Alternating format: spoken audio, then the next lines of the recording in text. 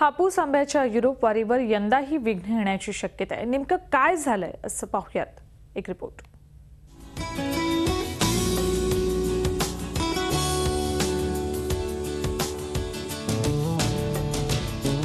युरोपीय देशात हापूस आंब्याला एंट्री मिळाली पण आता हापूसला अग्निदिव्य पार करून जावं लागणार अशी चिन्ह दिसत आहेत. कारण आंब्यावर उष्णजल प्रक्रिया अर्थात हॉट वॉटर ट्रीटमेंटचा मुद्दा पुढे आलाय. यात आंब्याला बावन्न डिग्री तापमानाच्या पाण्यातून जावं लागणार आहे.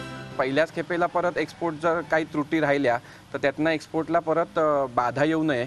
म्हणून ह्या तीन ज्या एजन्सी आहेत गव्हर्नमेंटच्या त्यांनी चांगला अभ्यास करून आम्हाला त्यातनं काहीतरी फलित करून द्यावं. कोकणातलं तापमान अडतीस अंशांपर्यंत गेलं तरी आंबा करपून खाली पडतो. पण युरोपात फळमाशीचा शिरकाव होऊ नये म्हणून उष्णजल प्रक्रिया अर्थात हॉट वॉटर ट्रीटमेंट बंधनकारक करण्यात आली आहे. एवढी पाण्याची उष्णता आंब्याला मानवणारी नाही. त्यामुळं युरोपात जाण्याअगोदर फळ खराब होण्याची भीती आंबा बागायतदारांना वाटते किती तापमानात जाणार हाच प्रोटोकॉल तीस तारखेला ठरणार आहे. पण जर कि त्याच्यावरती बावन्न डिग्री जर ठरवायचं असेल तर त्याला निश्चितपणे संशोधनाची गरज आहे. संशोधन झाल्याशिवाय आपल्याला निश्चितपणे असं सांगता येणार नाही की किती डिग्रीतनं तो आंबा पास झाला पाहिजे. या ट्रीटमेंटचा आंब्यावर काय परिणाम होईल याचा अभ्यास ना कृषी खात्यानं केलाय ना कोकण कृषी विद्यापीठानं. या प्रक्रियेसंदर्भात कृषी खात्यानं प्रतिक्रिया देणंही टाळलंय. युरोपनं घातलेली बंदी उठावी म्हणून युरोपात गेलेल्या शिष्टमंडळानं या प्रक्रियेचा गांभीर्यानं विचार केलेला नाही. त्यामुळं हा निकष रद्द करता येईल का?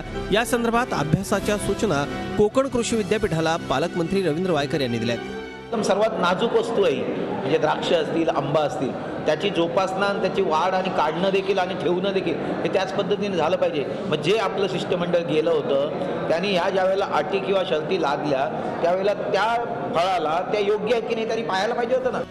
आंब्यावरची बंदी उठल्यानं काहीसा दिलासा मिळालेल्या आंबा बागायतदारांना ही हॉट वॉटर ट्रीटमेंट घाम फोडणाऱ्या शंकाच नाही.